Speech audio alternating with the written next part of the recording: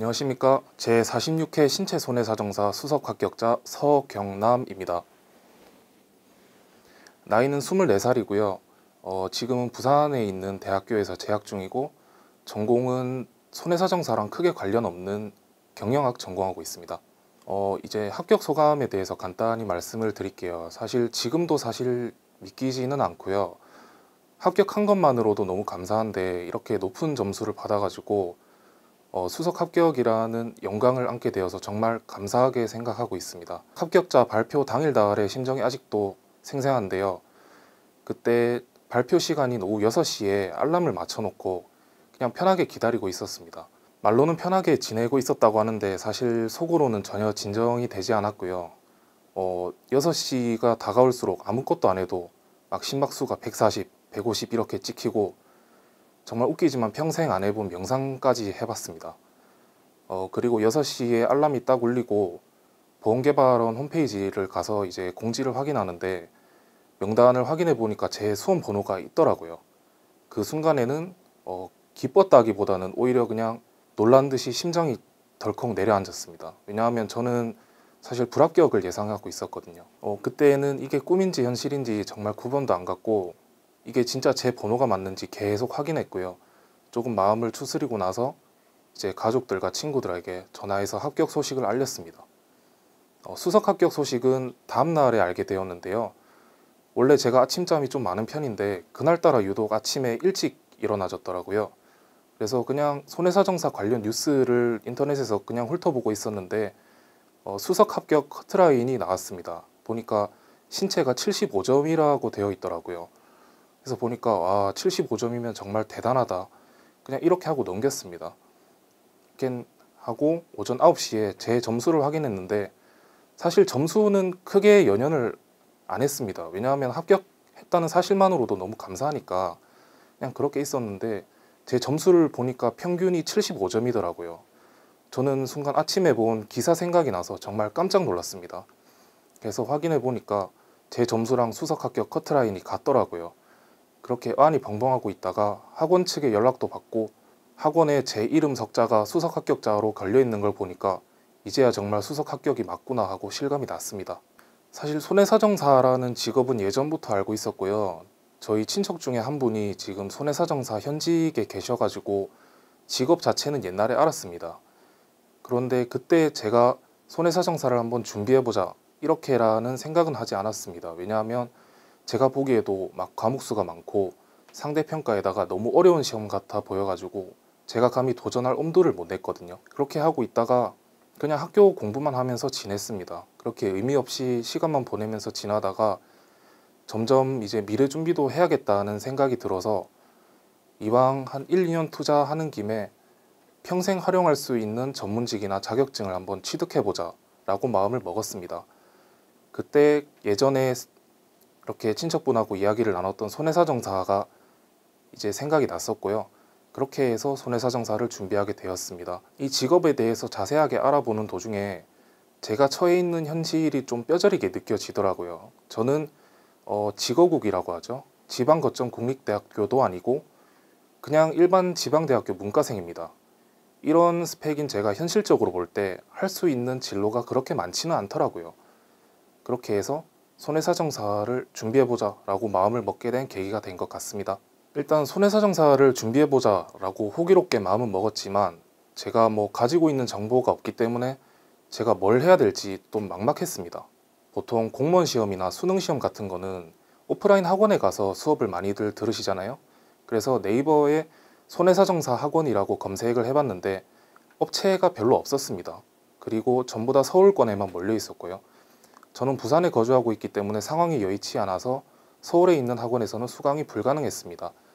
그래서 인터넷 강의로 공부를 하, 자고 생각을 했고 인터넷에 손해사정사 인터넷 강의라고 검색을 하니까 여러 업체가 나왔습니다. 그래서 뭘 골라야 되나 하고 고민하고 있던 찰나에 다른 학원 같은 경우에는 뭐 많은 미사여구를 붙여서 이렇게 홍보를 하고 있었는데 그냥 단순히 손해사정사 최다 합격생 배출 이라고 심플하게 걸려있는 학원이 눈에 띄었습니다. 그게 바로 인스티비였고요.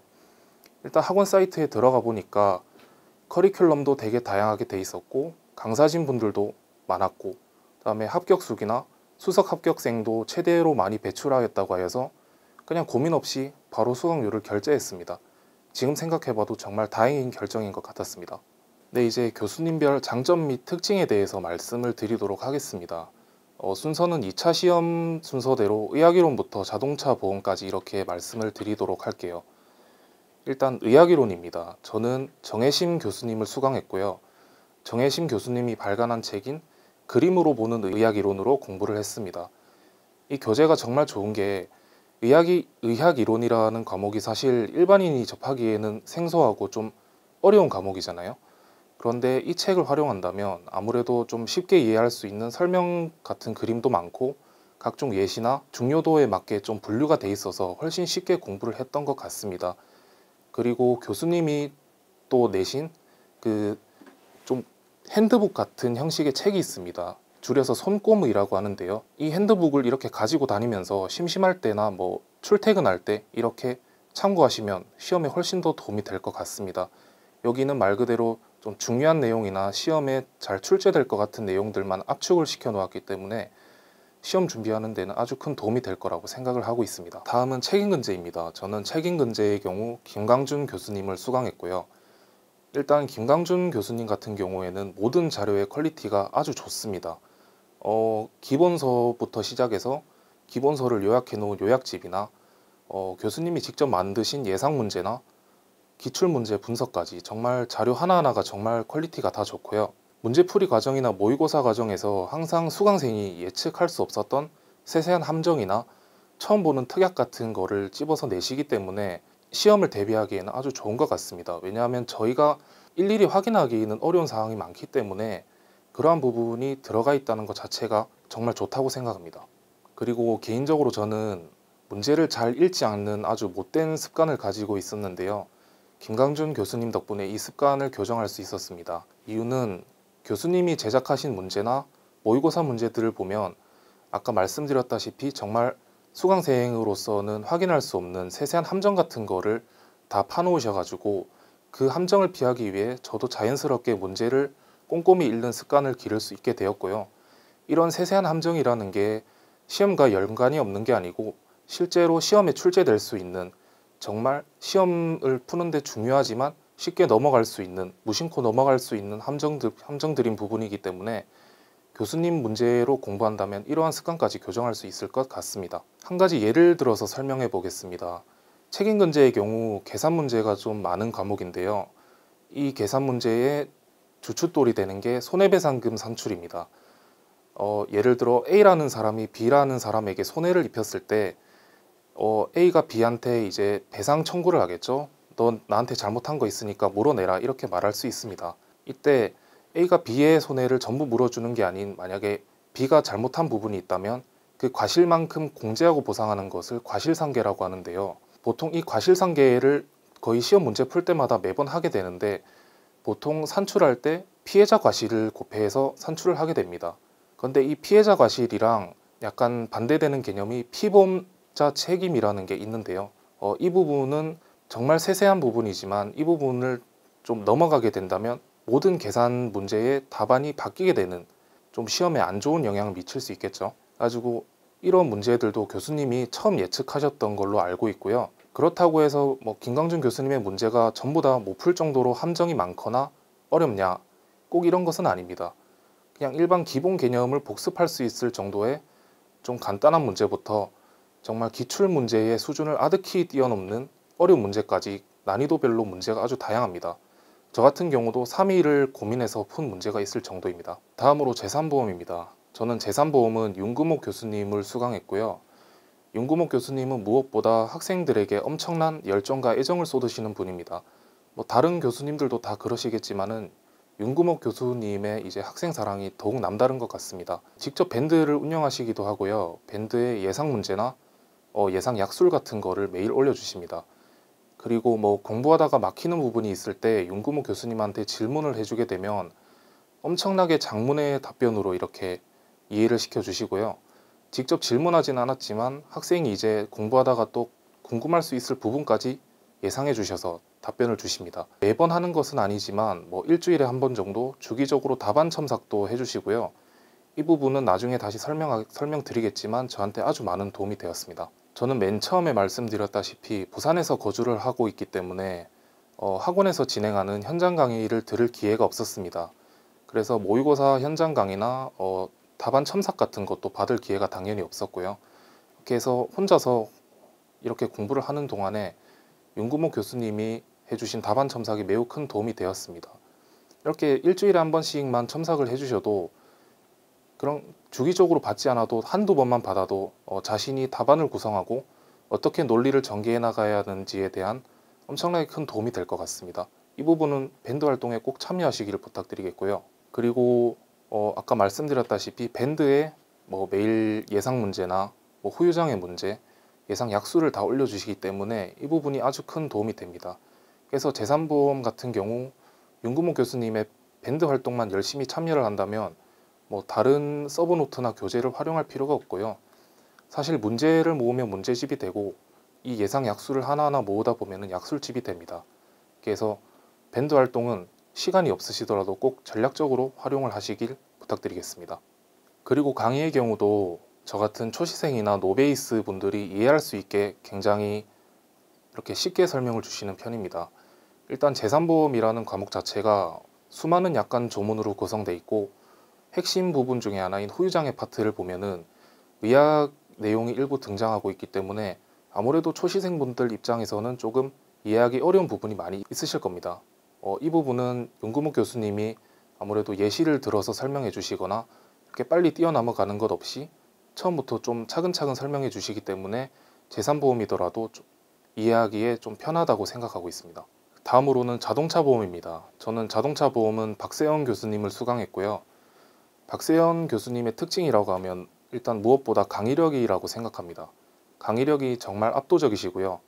어, 다른 수험 시장을 통틀어서도 이 정도 강의력을 가지신 분은 찾기 힘들다고 생각하고 있습니다. 다른 과목들은 아무래도 교수님 스타일마다 어떤 교수님을 선택해야 될지 좀 취향 차이가 갈린다고 생각하고 있지만 저는 자동차 보험 같은 경우 그냥 박세영 교수님 수강하시기를 추천드립니다. 그리고 기본서에 대해서 말씀드릴 텐데요. 박세영 교수님의 자동차 보험 기본서의 경우 일단 네 과목 중에 제일 얇습니다. 자동차 보험이라는 과목 자체의 공부량이 많지 않은 것도 있겠지만 교수님이 자주 강조하셨던 바와 같이 교수님이 애초에 이 책자를 만들 때 엄청 컴팩트하게 압축해서 만드셨다고 자주 강조를 하셨거든요. 그래서 실제로 보면 공부해야 될 부분은 한 150페이지 정도밖에 되지 않는 것 같습니다. 그래서 수험생분들이 자동차 보험에 대해서 겁먹지 않고 좀 효율적으로 공부할 수 있게 구성을 해 놓으셨고요. 이렇게 컴팩트하게 구성이 되어, 되어 있다고 하더라도 뭐 내용이 부실하거나 그런 건 전혀 아닙니다. 교수님이 목차 구성을 잘 해놓으신 것도 있고 버릴 부분이 전혀 없기 때문에 그렇게 얇게 구성되어 있다고 생각하시면 될 것 같습니다. 그리고 교수님의 전매 특허 자료라고 할 수 있는 치트키라는 게 있는데요. 나중에 교수님의 그 강의를 수강해 보시면 알게 되시, 되시겠지만 어, A4 용지 한 장짜리 자료가 있습니다. 이게 뭐냐면 쉽게 말씀드리면 자동차 보험이라는 한 과목을 A4 용지 앞 뒤장으로 이렇게 압축해 놓으신 자료라고 보면 될 것 같습니다. 이 치트키를 그냥 자동차 보험에 대해서 회독을 하지 않으시더라도 그냥 손에 들고 다니시면서 아니면은 캡처해서 갤러리에 넣고 다니시면서 그냥 출퇴근할 때 가볍게 보면은 자동차 보험 전체를 한번 복습하는 것과 같은 동일한 효과를 보게 됩니다. 그래서 이 부분은 좀 전략적으로 잘 활용하시면 좋을 것 같고요. 여담이지만 이건 제가 시험장에서 직접 겪은 일입니다. 어, 교수님이 전에 말씀하시기를 다른 학원에서 수강하시는 분들도 자동차 보험 복습만은 이 치트키를 활용한다고 하시더라고요. 그래서 저도 시험장에서 그 부분을 한번 확인해 봤는데 분명 다른 과목의 경우 다른 학원의 기본서로 공부하시던 분들도 자동차 보험 시간 전에는 이 치트키를 다 손에 쥐고 그렇게 복습을 하고 계셨습니다. 박세영 교수님의 강의의 경우 하나하나 다 떠먹여주는 스타일은 아니고 좀 진도가 빠르다는 느낌을 받으실 수도 있는데요. 일단 참고 끝까지 한번 돌리시다 보면은 다 이해가 되실 겁니다. 일단 자동차 보험이라는 과목 자체가 어 이렇게 step by step으로 이해가 되는 과목이 아니고 모든 기본 약관이나 특약들이 서로 유기적으로 연결되어 있기 때문에 처음부터 끝까지 이렇게 자동차 보험에 대해서 이해가 없다면 일부분에 대해서 이해를 하기가 힘듭니다. 사실 자동차 보험이. 이렇게 해서 그렇기 때문에 좀 참고 끝까지 복습하시다 보면은 어느 순간 시야가 탁 트이는 경험을 하게 되실 겁니다. 저도 그랬습니다. 어, 이제 1차 시험이랑 2차 시험의 공부 방법에 대해서 좀 구체적으로 이야기를 드릴 텐데요. 이 부분부터는 제가 제작한 PPT를 이용해서 좀 설명을 드리도록 하겠습니다. 일단 들어가기에 앞서서 이렇게 적어 놓은 바와 같이 이것은 제가 사용했던 학습법일 뿐 절대 정답은 아니고요. 개인에게 맞는 학습법이 있다면 사실 그게 정답입니다. 그냥 제가 사용했던 방법이니까 어, 재미로 아니면 참고로만 들여주셨으면 감사하겠습니다. 여기 밑에 보시는 바와 같이 자기만의 고유적인 학습법을 찾는 게 가장 중요하다고 생각합니다. 그게 학습 효율에 있어서도 제일 도움이 될 것 같습니다. 제 월별 학습 플랜입니다. 보시면은 11월에서 시험 직전까지 공부를 했고요. 보통 11월에 학원의 기본 강의 커리큘럼이 개강이 되기 때문에 그때 학원에서 이렇게 시작되는 거에 맞춰서 그냥 따라갔습니다.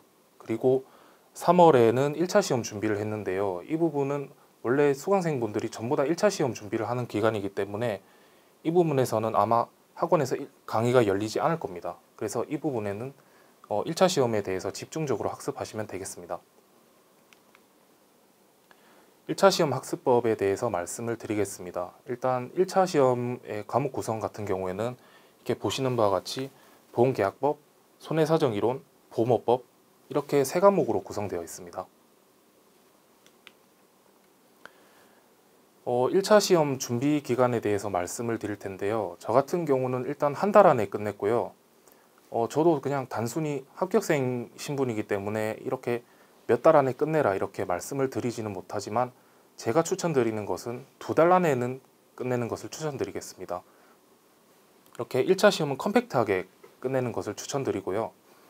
왜냐하면 밑에 적어 놓은 바와 같이 1차 시험에 대해서 너무 오래 붙잡고 있으면 동차 합격은 불가능해지게 되기 때문입니다.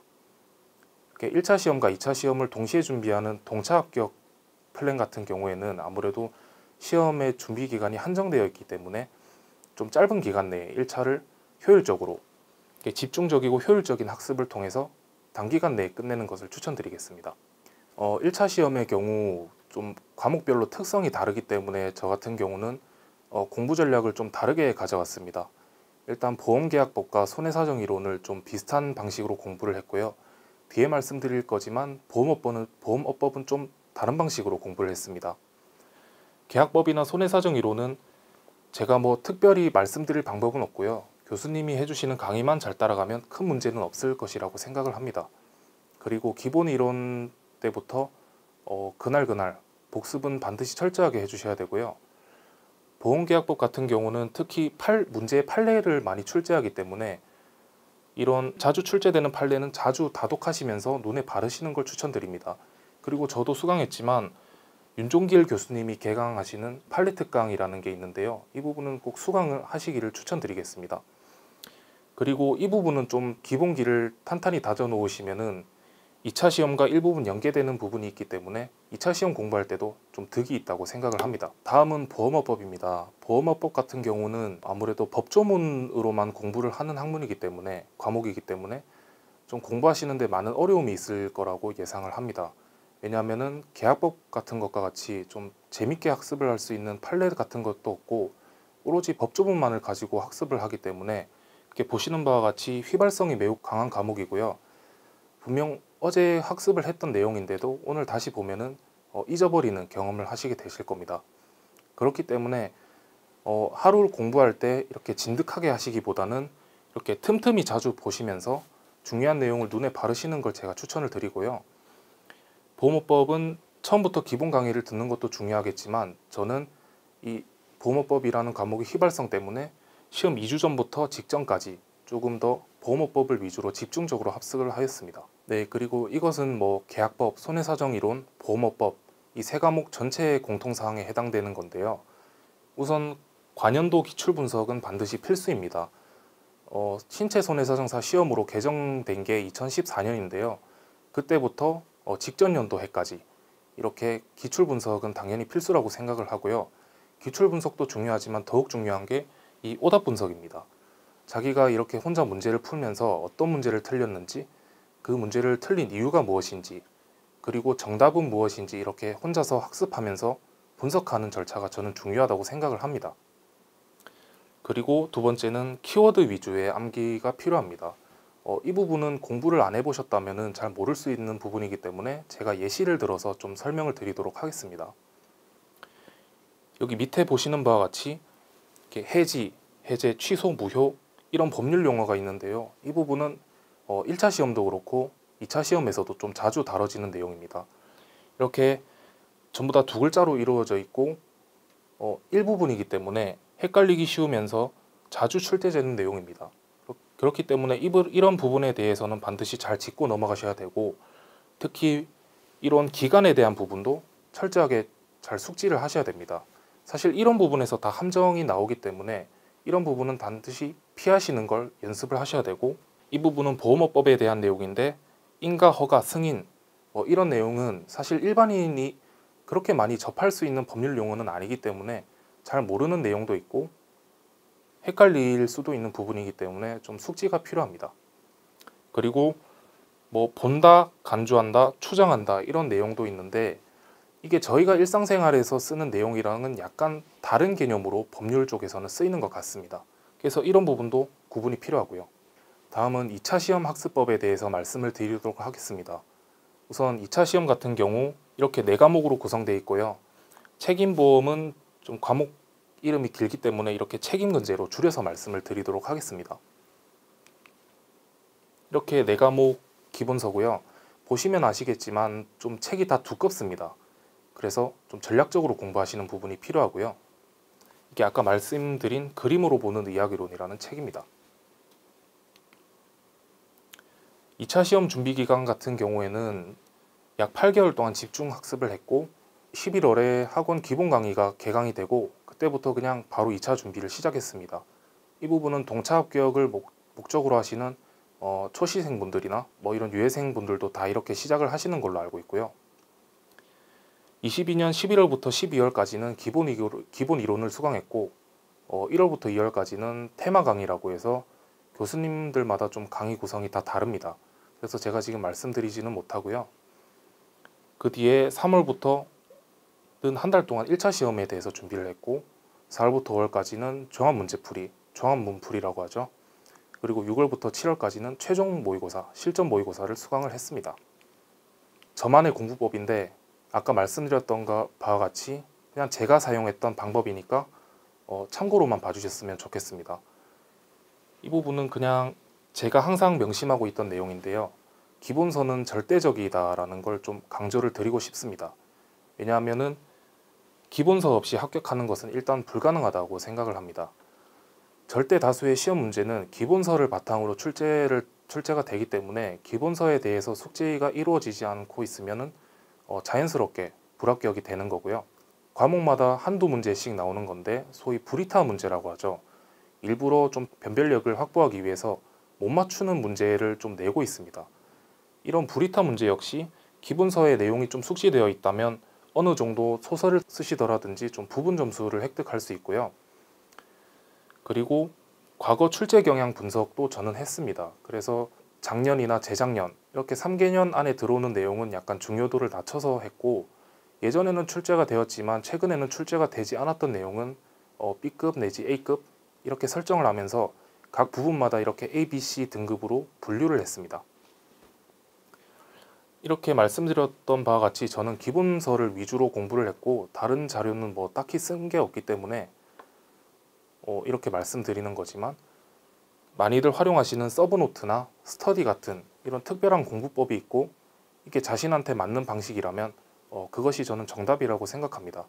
사람마다 공부를 하는 방식이나 학습 효율이 다 다르기 때문에 천편일률적으로 공부법을 적용하는 것은 좀 맞지 않는다고 생각을 합니다. 다음은 2차 시험 공통사항에 대해서 말씀을 드리겠습니다. 2차 시험도 1차 시험과 동일하게 키워드 위주로 암기를 하시는 것을 저는 추천을 드릴게요. 그리고 답안은 양보다 질이 중요하다고 저는 생각을 하고 있습니다. 어, 답안지에 내가 모르는 내용이 많다고 해서 억지로 이렇게 소설을 장황하게 쓰기보다는 그냥 내가 알고 있는 내용만을 충분히 답안지에 녹여낸다면 좋은 점수를 받을 수 있다고 저는 생각을 합니다. 저 같은 경우에도 실제로 어, 답안이 8장을 넘어가는 경우는 거의 없었고요. 다 7장 그 정도에서 마무리를 한 것 같습니다. 그러기에 출제자의 의도를 정확히 파악하는 것이 중요하다고 생각합니다. 출제자가 원하는 답, 그리고 우리한테 듣고 싶은 내용을 확실하게 파악하고 이것에 대해서 고민하는 것을 좀 저는 추천드리겠습니다. 그리고 학습 시에 목차를 간과하시면 안 됩니다.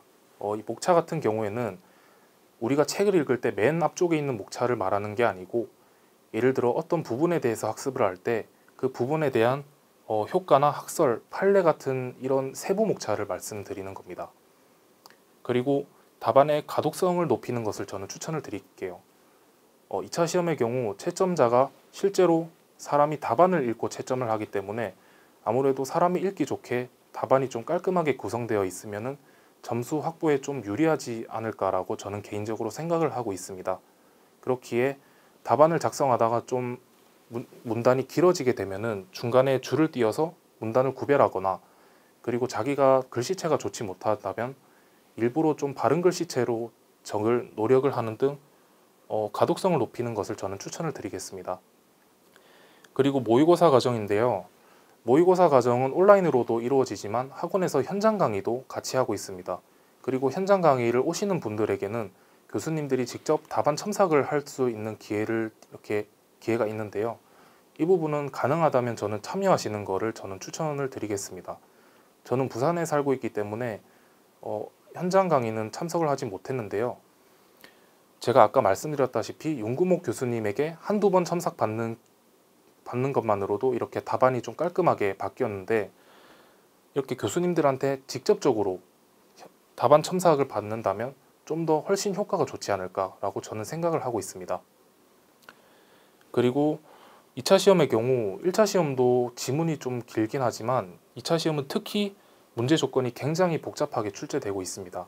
그렇기 때문에 그 한정된 시험 시간 내에 이렇게 답안을 작성하기 위해서는 문제를 꼼꼼하게 읽고 그 안에서 필요한 정보를 구분하는 것이 좀 필요합니다. 이 부분은 제가 예시를 들어서 설명을 드리도록 하겠습니다. 네, 이건 이번 회차 시험 실제 기출 문제인데요. 왼쪽은 책임 근제이고 오른쪽은 재산보험의 기출 문제입니다. 재산보험은 이게 다가 아니고 아래 똑같이 한 바닥이 더 있습니다. 이게 어 20점짜리 한 문제이고요. 이렇게 문제의 전제 조건이 시간이 갈수록 계속해서 복잡, 복잡해지는 추세를 가지고 있습니다. 그렇기 때문에 어 저희가 문제를 풀 때 여기 적혀 있는 모든 정보를 활용하는 것이 아니고 이 중에서 문제를 푸는데 필요한 정보만을 추출해서 사용하게 됩니다. 그런데 시험 시간은 90분으로 한정되어 있기 때문에 어, 이 문제를 보고 한 2분 내지 3분 안에 필요한 정보를 이렇게 확인을 해서 그 부분만을 활용하게 되는데요. 시험의 출제 경향을 보면은 일부러 좀 잘못된 내용을 집어넣는 소위 함정이라고 하죠. 이런 함정을 일부러 집어넣고 있습니다. 이런 함정 부분을 어, 넘어가지 못하고 자신이 이것을 활용해서 문제를 풀게 되면은 어, 그 문제는 틀린 것이 되는데요. 그렇기 때문에 기출을 계속해서 반복 숙달하시면서 불필요한 정보를 같이 제공하는 함정을 피하는 것을 저는 추천을 드리겠습니다. 이 부분은 기출 분석으로 해결할 수 있는 문제입니다. 이제 과목별로 말씀을 드리도록 하겠습니다. 처음에는 1교시인 의학이론인데요. 저는 의학이론은 정혜심 교수님을 수강을 했습니다. 어, 의학이론의 경우 일단 맨 처음 접하게 되면 이렇게 해부학부터 공부를 하게 됩니다. 어, 떤 관절에 대해서 공부하고 있을 때 그 관절을 이루고 있는 뭐 뼈나 근육, 신경 이런 부분에 대해서 알아야 되기 때문에 각종 뼈나 근육, 신경, 혈관, 뭐 인체의 자세에 대한 내용이라든지 이런 기본 내용을 처음으로 공부하게 되실 겁니다. 이 부분은 계속해서 활용을 해야 되기 때문 부분이기 때문에 어, 좀 중요하게 학습을 하셔야 되고 시험이 출제되는 내용을 보시면 보통 상해가 60% 정도 출제가 되고 질병이 40% 비중으로 출제가 되고 있습니다. 어, 이렇게 6대 4의 비율로 내라고 어, 지침이 있는지는 저는 모르겠지만 시험이 계속 이렇게 출제가 되고 있고요. 그리고 상해 파트는 재출제율이 매우 높습니다. 그리고 질병 파트는 상해 파트보다는 재출제율이 좀 덜한 부분이 있습니다. 그렇기 때문에 상해 파트의 경우에는 어, 신체 손해사 사정사 시험으로 개편되기 전에 과거 배상의학 시절부터 있었던 의학이론 객관식 문제들까지 좀 확실하게 숙달하시는 것을 저는 추천드리고요. 질병은 어, 미출제 부분을 위주로 학습을 하시면 되겠습니다. 미출제 부분은 아마 강사님들이 전부 다 어, 예상 문제로 다 집어 놓으셨기 때문에 어, 커리큘럼만 잘 따라가신다면 이 부분도 자연스럽게 학습할 수 있는 부분이고요. 질병의 경우 상해 파트보다 훨씬 양이 방대하기 때문에 어, 예상 문제나 미출제 부분을 중심으로 좀 넓게 암기하고 학습하시는 것을 저는 추천드리겠습니다. 그리고 다른 내용도 적어도 브리타 문제가 나왔을 때 답안지에 적을 수 있을 정도로 적당히는 공부를 하셔야, 하셔야 됩니다. 그리고 의학이론의 경우 어, 많은 수험생 분들이 그렇게 생각을 하실 텐데요. 의학이론이 공부가 좀 잘 되어 있다면 보통 점수가 높게 나옵니다. 그렇기 때문에 어, 전략 과목으로 선택을 하실 수도 있고요. 그리고 이 부분은 제가 일개 수험생이기 때문에 뭐라 말씀은 못 드리겠지만 과거 22년도에 보면 의학 용어를 영문으로 내는 문제가 출제된 적이 있습니다.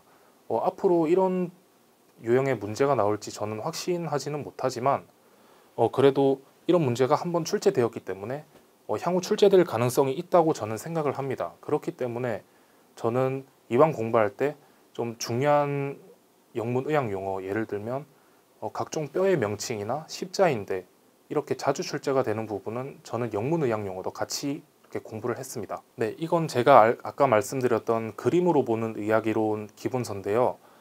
이렇게 보시는 바와 같이 맨 처음부터 기초 이론부터 해부학을 공부하게 됩니다. 이렇게 뭐 해부학적 자세라든지 인체 부위에 대해서 좀 학습을 하기 때문에 이 부분은 처음부터 확실하게 잡고 가시는 것을 추천드리고요. 책이 굉장히 두껍지만 어, 필요 없는 내용이 없는 필요 없는 내용이 있는 게 아니고 이렇게 그림과 같이 좀 예시를 들어서 초시생, 초시생분들이 이해하기 쉽게 이렇게 구성되어 있습니다. 다음은 책임근제입니다. 저는 책임근제의 경우 김광준 교수님을 수강을 했고요. 책임근제는 계산 문제의 비중이 매우 높은 과목입니다. 계산 문제라 함은 어, 손해배상금을 산출하라 아니면은 좀 더 나아가서 그 손해배상금을 바탕으로 보험금을 산출하라 이런 문제를 어, 말하는 겁니다. 보통 절반 정도 아니면 그 이상이 어, 계산 문제로 출제가 되고 있는 것 같습니다. 그렇기 때문에 어, 책임근제의 모든 것에 바탕이 되는 손해배상금의 산출은 반드시 마스터하셔야 된다고 저는 생각합니다. 어, 이 부분은 김강준 교수님도 몇 번 강조를 하셨던 부분인데요.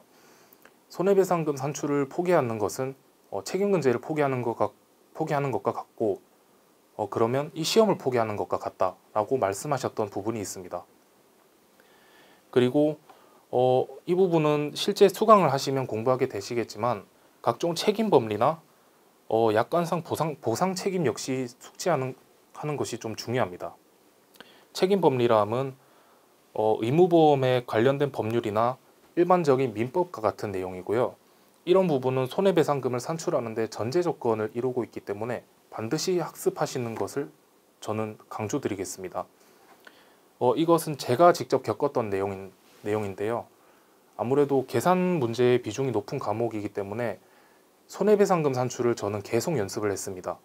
그렇게 하고 뭐 모의고사나 이런 것을 응시를 했을 때 손해배상금 산출은 되는데 그 전제 조건인 어, 보상 책임이 있다 아니면은 뭐 배상 책임이 있다 이런 부분을 저는 학습이 덜 되어 있었기, 덜 되어 있었기 때문에 어, 판단을 할 수가 없었습니다. 그렇기 때문에 전제 조건인 책임 법리나 보상 책임은 확실하게 숙지하시는 것이 중요하고요.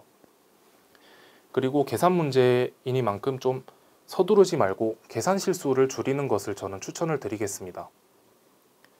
그리고 계산 문제 학습과 약술 학습은 별개의 항목이 아닙니다. 어, 계산 문제를 학습하기 위해서 이런 책임 법리나 보상 책임을 공부한다면 그 자체가 약술 학습이 되는 거고요. 그렇기 때문에 어, 따로 계산 문제 랑 약술 학습을 이렇게 나눠서 공부하시지 마시고 좀 같이 챙겨 가시는 것을 저는 추천을 드리겠습니다. 네, 여길 보시면 책임근제 기본서랑 김광준 교수님이 직접 강의를 하시는 모습이 있는데 여기를 보시면 잘 보이실지는 모르겠지만 어, 이 부분은 책임근제에만 국한된 부분은 아니고요. 제가 활용하였던 방법인데 형광펜을 색깔을 두 가지로 구분을 해서 좀 다른 내용보다 주의 깊게 봐야 할 내용은 노란색으로 이렇게 표시를 해놨고요. 그보다 더 중요한 아니면 반드시 암기하여야 할 키워드 같은 경우에는 빨간색 형광펜으로 이렇게 표시를 해놨습니다. 다음은 재산보험입니다. 저는 재산보험은 윤금옥 교수님을 수강을 했고요. 저는 재산보험을 크게 이렇게 네 파트로 구분을 했습니다. 어, 표준약관, 후유장애, 실손의료보험, 실비라고 하죠. 그리고 질병상해보험과 같은 그 외의 부분 이렇게 네 가지 파트로 분류를 했습니다. 이 부분 중에 표준약관이랑 후유장애, 실손의료보험은 완벽하게 숙지를 하셔야 됩니다. 이 부분은 어, 회차에 상관없이 반드시 출제되었던 부분이고요. 어, 제 기억상 이번에는 실손의료보험 문제가 두 문제나 출제되었던 것으로 저는 기억을 하고 있습니다. 그렇다고 해서 어, 질병상해보험이나 간병보험과 같은 부분을 완전히 버리지는 말자라고 저는, 추, 저는 추천을 드리겠습니다. 왜냐하면 이런 부분도 예상치 못한 불이타 문제로 출제가 될 수도 있기 때문에 적어도 뭐 확실하게 100% 공부를 하라고는 말씀을 드리지 못하겠고요. 적어도 답안지에 쓸 정도로는 어, 학습을 하시는 것을 저는 추천드립니다. 왜냐하면 재산보험의 공부량이 다른 과목에 비해서 압도적으로 많기 때문에 한정된 시간 내에 이 네 부분을 전부 다 100% 숙지하는 것은 저는 좀 불가능하다라고 저는 생각을 하고 있습니다. 그렇기 때문에 전략적으로 선택하시는 것을 추천드리고 있습니다. 저는. 그리고 아까 보셨던 바와 같이 문제에 제시되는 조건들이 굉장히 복잡합니다.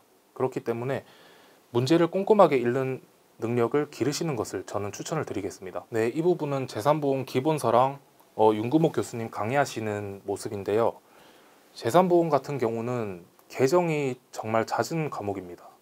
그렇기 때문에 어, 몇 달마다 한 번씩 개정이 되는 경우도 있고요. 그럴 때마다 개정 사항을 좀 추가적으로 이렇게 필기하시는 것을 저는 추천드리겠습니다. 그리고 자동차 보험에 대해서 말씀을 드리겠습니다. 저는 자동차 보험은 박세현 교수님을 수강을 했고요. 자동차 보험 같은 경우에는 과락 사례가 정말 많습니다. 보통 과락으로 불합격했다 하면은 거의 다 10중 8구 자동차 보험이 발목을 잡는 경우가 되고요. 그렇기 때문에 공부하기는 가장 쉬울지 몰라도 어, 시험을 합격하는 데 있어서는 체감상 가장 까다로운 과목이라고 말씀을 드릴 수 있겠습니다. 어, 다른 분도 다 말씀하시는 부분인데요. 어, 시험을 높은 점수로 합격하게 되면 의학이론이 좀 도움을 많이 줬다라고 생각을 하시고 시험에 떨어지게 되면 거의 자동차 보험 때문에 떨어졌다 이런 말도 있습니다. 그리고 자동차 보험에는 사례 문제가 존재하는데요. 어, 이 사례 문제는 다른 재산 보험이나 책임 근제의 사례 문제와는 좀 다릅니다. 어, 자동차 보험의 사례 문제는 어떠한 사실관계를 주면은 제시가 되면은 거기에 대해서 자신의 자신만의 논리를 전개해 나가는 그런 풀이 방식을 갖고 있는데요. 이 사례 문제를 풀기 위해서는 어느 한 부분만을 가지고 푸는 것이 아니고 자동차 보험의 거의 대부분의 내용을 활용해서 풀기 때문에 이렇게 대부분의 내용을 숙지하여야만 어, 비로소 답안 작성이 가능합니다. 그래서 맨 처음에 공부를 하시게 되면 바로 사례 문제를 자, 사실 작성하기 작성하기는 힘드실 거예요. 그렇기 때문에 포기는 절대 하시면 안 됩니다. 아까 말씀드렸던 바와 같이 어, 참고 끝까지 한번 완강을 하시고 개인적으로 한 1회독에서 2회독 정도 하다 보면은 어느새 시야가 탁 트이는 경험을 하게 되실 겁니다. 그리고 자동차 보험은 버릴 부분이 없는 과목이라고 저는 개인적으로 생각을 합니다. 어, 모든 내용이 다 중요하다고 생각을 하고요. 왜냐하면은 자동차 보험의 공부량이 제일 작기 때문에 그 중에서 어느 어느 것을 내가 공부를 안 했다. 만약에 그 부분이 출제가 되면 거의 과락 불합격이 나올 확률이 굉장히 높아지거든요. 그래서 저 같은 경우는 기본서를 통함기했습니다. 어쩔 수 없는 선택이었고요.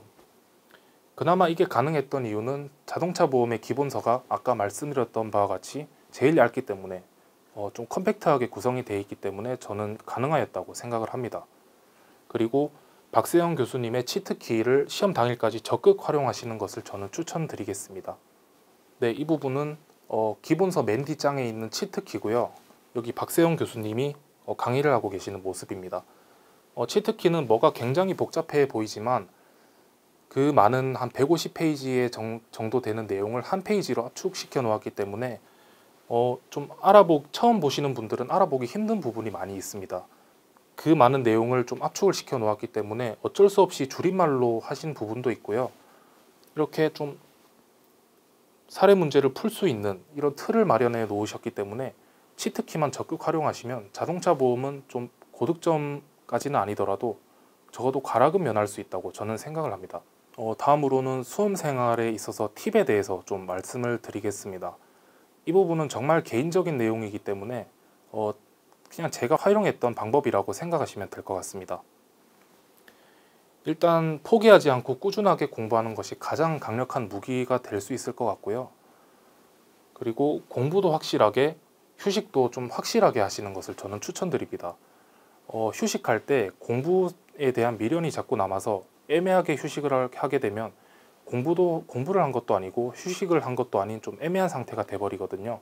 그렇기 때문에 쉴 때는 확실하게 휴식하시는 것을 저는 추천드리겠습니다. 그리고 뭐 체력이나 스트레스 관리는 당연히 기본적으로 하셔야 되는 부분이고요. 그러나 휴식을 확실하게 한다고 해서 장기간의 휴식을 하는 것은 어, 안 된다고 저는 생각합니다. 왜냐하면 약관이나 법률 과목이기 때문에 어, 휘발성이 높다고 하죠. 잘 까먹을 수 있는 부분이 많기 때문에 어, 쉴 때는 좀 단기간 내에 확실하게 휴식하시는 것을 저는 추천을 드리고요. 아까도 말씀드렸던 부분이지만 기출 분석은 기본이자 마지막입니다. 어, 이 부분은 1차 시험이나 2차 시험 모두 공통사항에 해당됩니다. 그리고 어, 처음에 선택한 학원과 강사님을 믿는 것을 저는 추천드립니다. 어, 이 강사님이 조금 내 마음에 안 드는 부분이 있어서 다른 강사님으로 또 갈아타고 아니면 또 학원을 갈아타고 이러면은 이렇게 새로 적응하는 시간 자체가 손해라고 저는 생각을 합니다. 그렇기 때문에 애초에 좀 확실하게 선택을 하시고 어, 그렇기 위해 그래서 이렇게 학원에서 샘플 강의를 또 제공을 하기 때문에 이 부분을 이용하시면 어, 시간 낭비를 좀 절약할 수 있다는 생각을 하고 있습니다. 저는 다음으로는 제가 시험장에서 직접 활용했던 팁에 대해서 말씀을 드리도록 하겠습니다. 우선 시험 당일 날에 어, 많은 자료는 큰 의미가 없다고 저는 생각합니다. 시험 날 가시면은 꼭 이렇게 기본서를 좀 바리바리 싸들고 오시는 분들도 계시는데요. 어, 어차피 시험 준비는 한 30분 정도? 1시간도 못하기 때문에 괜히 무겁게 그걸 들고 와야 되냐라는 생각을 저는 했었고 그렇기 때문에 어, 과목별로 저는 한 장짜리 요약본, 요약본을 만들어서 활용을 했습니다. 어, 이 부분은 진짜 안 외워지는 내용이나 어, 내가 어쩔 수 없이 버린 내용들 위주로 이렇게 요약본을 만들었고요. 버린 내용으로 만든 이유는 만약에 이 부분이 출제를 된다면 어, 시험 응시하기 직전에 봤기 때문에 단기 기억으로는 가장 효과가 있지 않을까라고 생각하고 저는 버린 부분을 위주로 좀 요약본을 만들었습니다. 그리고 시험 전날에는 충분한 수면을 취하는 것은 기본이고요. 어, 밤샘 공부는 절대 금물이라고 저는 생각합니다. 그리고 어, 점심 식사는 어, 간단하게 해결하시는 것을 저는 추천을 드리겠습니다. 그리고 밖에 나가서 먹는 것보다는 어, 샌드위치나 도시락 같은 거를 싸우셔서 간단하게 먹으시는 걸 추천드리고요. 왜냐하면 좀 많이 먹게 되면 아무래도 졸릴 수도 있고 그리고 식사 시간이라도 밥을 빨리 먹고 남는 시간을 좀 공부 시간으로 활용하였으면 좋다고 저는 생각합니다. 네, 이 사진들은 어, 제가 모의고사 과정을 진행하면서 직접 작성하였던 답안인데요. 보시면은 이렇게 문단이 좀 길어진다 싶으면은 이렇게 중간에 한 줄을 띄워물어서 문단도 구분을 했고 잘 보이실지는 모르겠지만 좀 목차도 구분을 했습니다. 뭐 맨 처음 가장 상위 목차에는 로마자 1을 적고 그 밑에는 아라비아 숫자 1 그리고 괄호 치고 1 뭐 이런 식으로 좀 상위 목차에서 하위 목차로 가는 구성을 했고요. 그리고 하위 목차로 갈 때마다 좀 들여쓰기를 함으로써 어, 가, 좀 가독성을 높이는 그런 어, 목차 구분도 했습니다. 저는. 네, 이것으로 중요한 내용들은 다 말씀을 드렸고요. 어, 저는 기본 아까 말씀드렸던 바와 같이 기본서 위주로만 공부를 하였기 때문에 어, 특별한 공부법 같은 거를 말씀드리지 못한 점은 죄송하다고 생각을 하고 있습니다. 여기 보시는 바와 같이 어, 노력은 배신하지 않는다. 저는 이 말을 항상 새기면서 공부를 했고요. 어, 이런 말을 해도 될지는 모르겠지만 어, 엉덩이가 무거운 사람이 이기는 싸움이라고 다들 하시더라고요. 특히 이렇게 1, 2년 동안 투자를 하는 전문직 시험 같은 경우에는 무조건 좀 장기적으로 노력을 하시는 분은 반드시 좋은 결과가 있을 거라고 저는 생각을 합니다. 어, 여러분들의 합격을 기원합니다. 수석 합격자 서경남이었습니다.